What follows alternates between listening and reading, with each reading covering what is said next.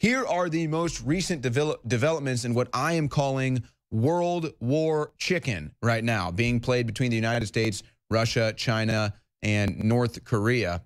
Don't mess with us. North Korea threatens to turn the U.S. to ashes with super mighty preemptive strike. That's right. Kim Jong un is warning the U.S. he's ready to want, uh, launch a super mighty preemptive strike.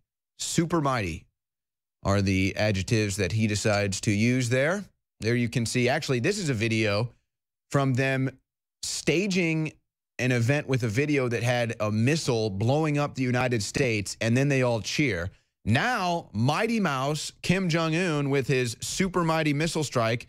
Yeah, there's the video that I'm referring to.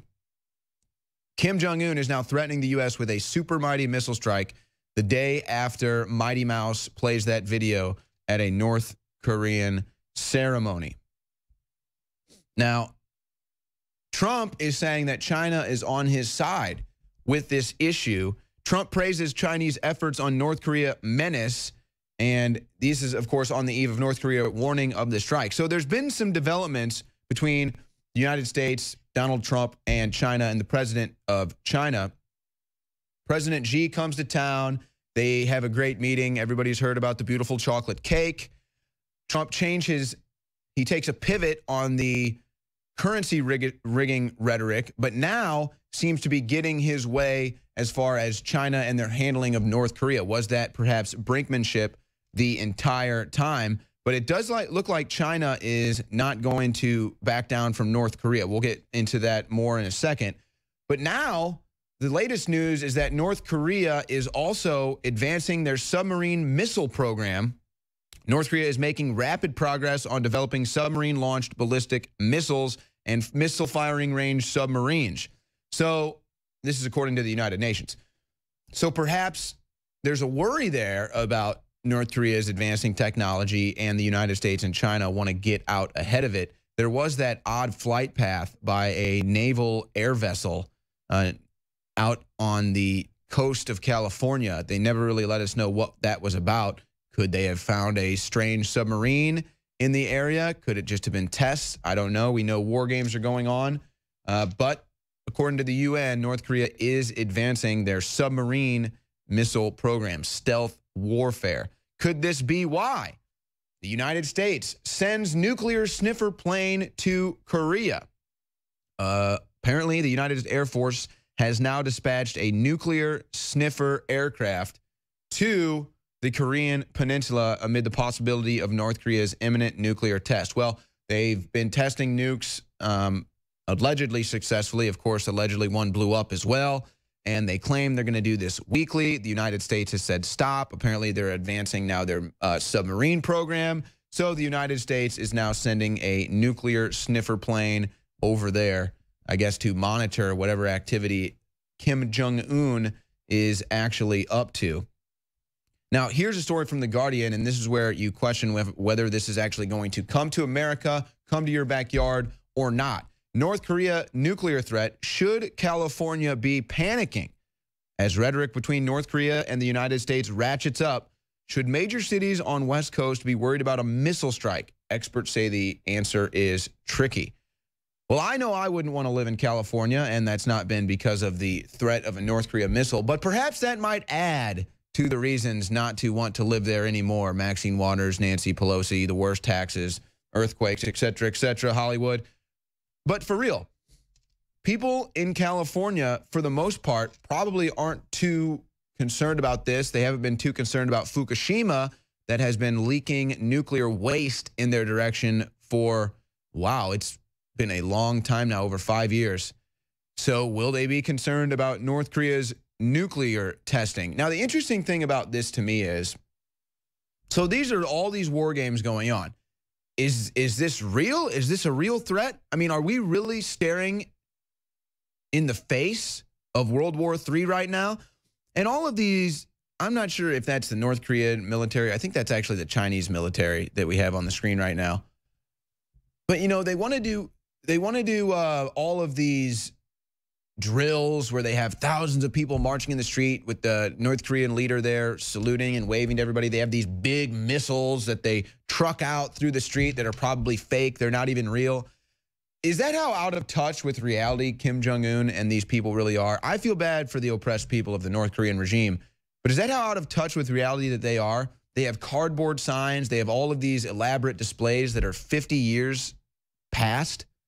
Nobody has crazy displays like that every year, except as far as I'm concerned, North Korea and perhaps China as well.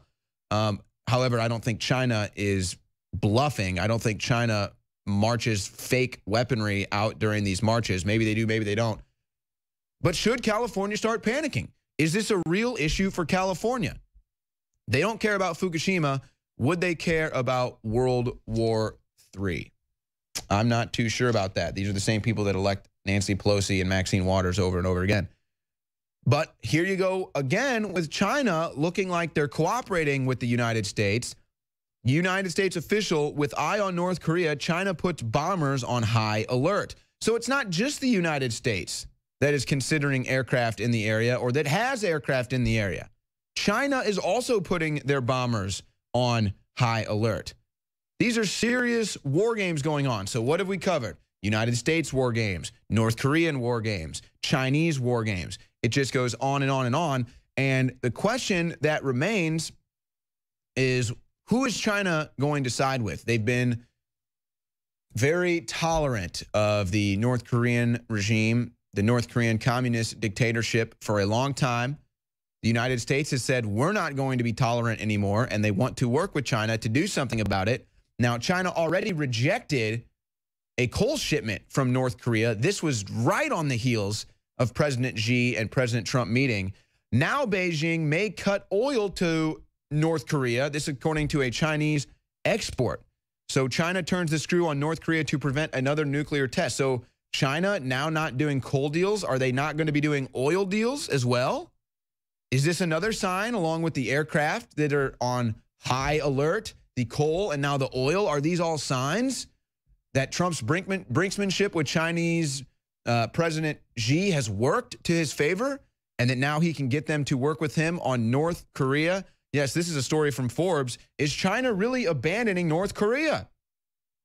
Many people say it's China that has been the, how would you say it, country that has allowed North Korea to get to the point where it's at. China is right there. China is the superpower of that region.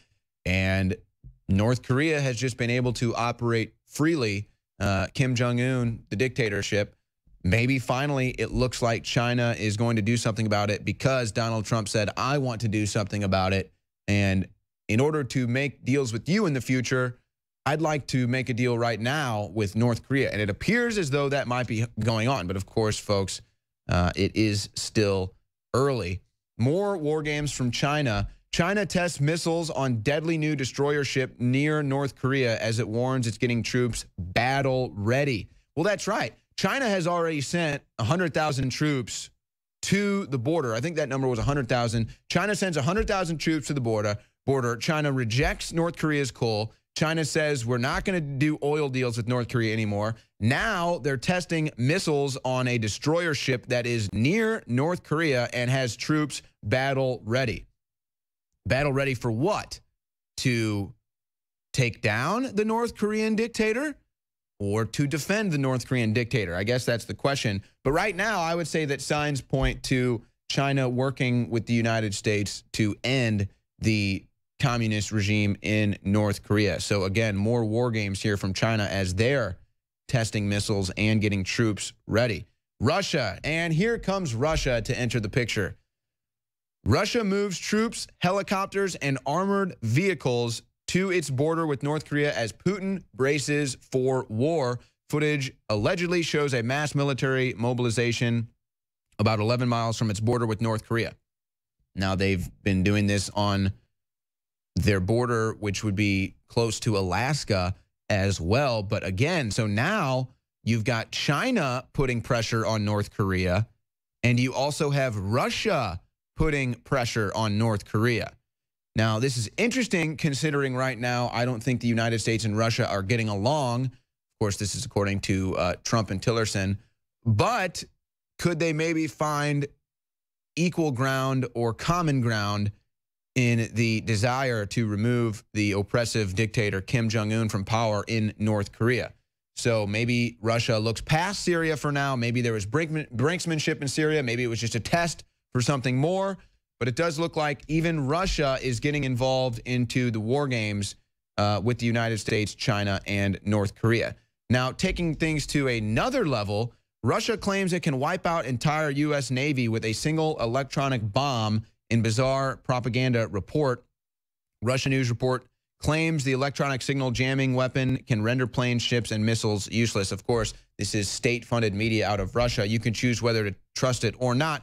But they claim that with this new technology, they can just take down a plane, take out a ship, and any of the United States advanced weaponry that might be on those types of uh, crafts, whether it be on the sea or in the air, would be rendered useless. Of course, it was a big problem at one time, uh, our electric grid and the threat of an EMP strike, but that seems to have entered the back burner.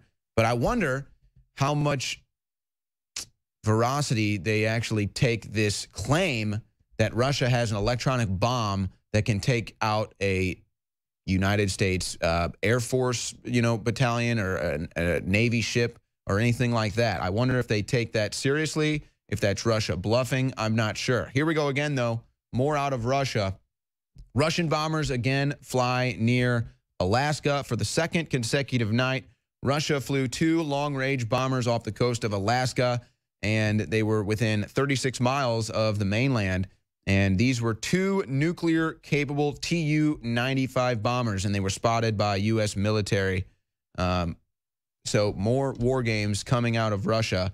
And again, this is just all building up to World War III for me. I feel like they wouldn't be doing these war games to such a serious capacity if there wasn't a serious threat of war breaking out, or unless there are serious plans to either invade North Korea or to do something intervention uh, interventionist in the Middle East. I'm not sure what's going on, folks. I'm just trying to figure it all out, and we can see the war games being played in front of us, and all signs point to war when you see this stuff going on. It's impossible to sit here and try to report that with a straight face when it's such uh, dire news to report, but that does appear what's going on. But what is the UN saying?